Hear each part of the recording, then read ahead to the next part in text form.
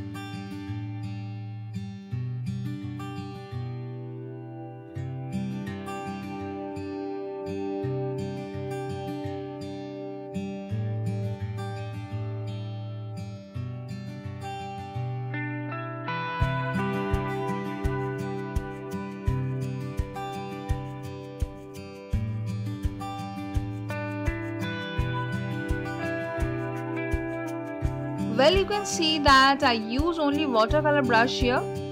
You can use airbrush also. But I actually want to see the effects of watercolor brush. Let's see the final outcome. Watch the full video.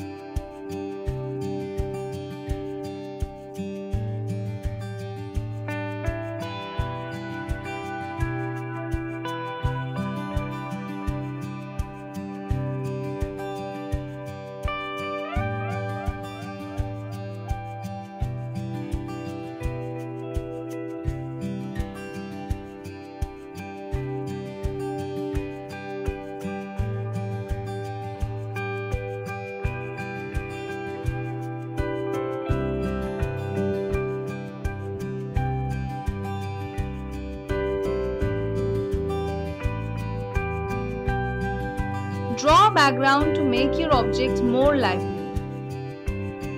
I used Tappa Tinker for the highlights. So this is done.